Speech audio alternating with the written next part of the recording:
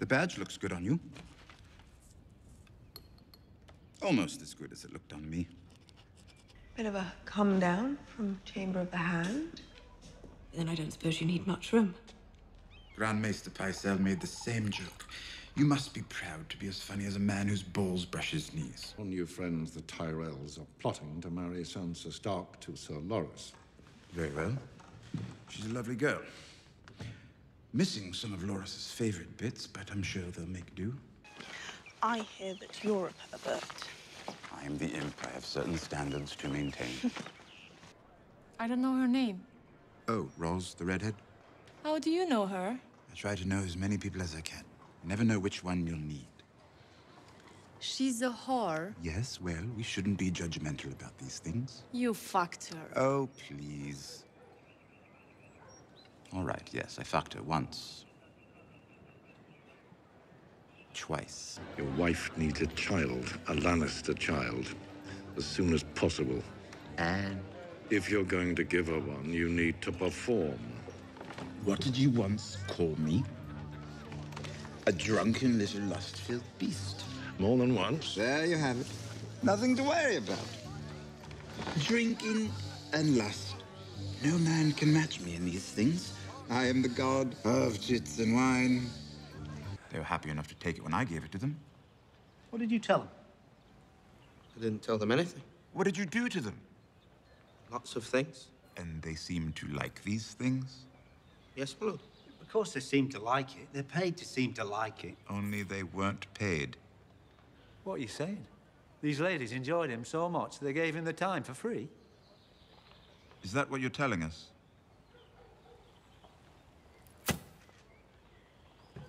Sit down, Podrick.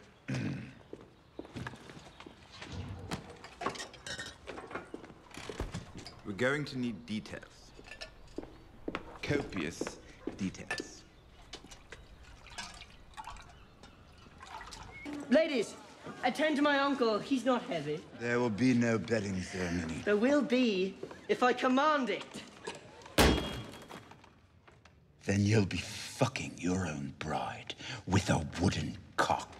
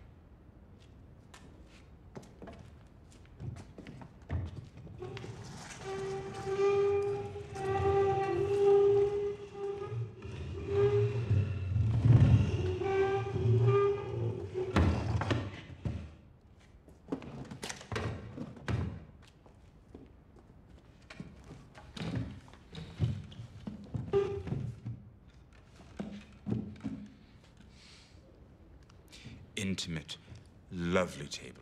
Better chairs than the old small council chamber. Conveniently close to your own quarters. I like it.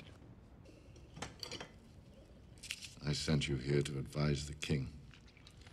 I gave you real power and authority.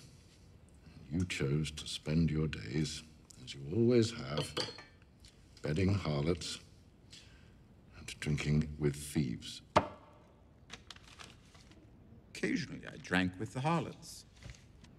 You can't mean it. I can, and I do. Joffrey has made this poor girl's life miserable since the day he took her father's head. Now she's finally free of him, and you give her to me? That's cruel, even for you. You intend on mistreating her? The girl's happiness is not my concern, nor should it be yours. She's a child. How to begin?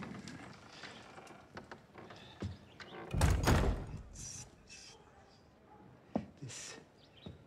This is awkward.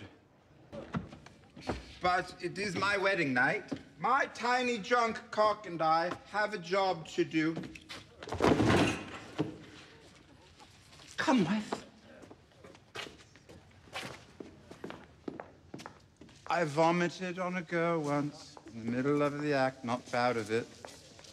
But I think honesty is important between a man and wife. Don't you agree? Come, I'll tell you all about it. Put you in the mood. It's not easy being drunk all the time.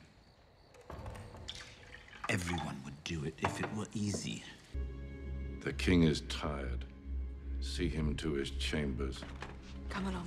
I'm Not tired. We have so much to celebrate. A wedding to plan. You must rest. Grand Maester, perhaps some essence of nightshade to help him sleep. I'm not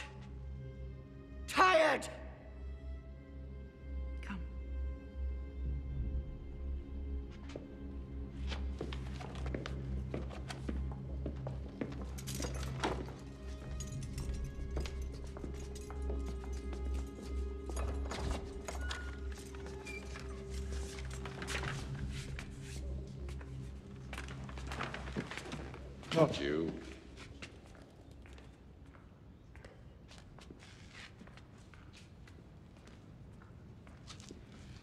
You just sent the most powerful man in Westeros to bed without his supper.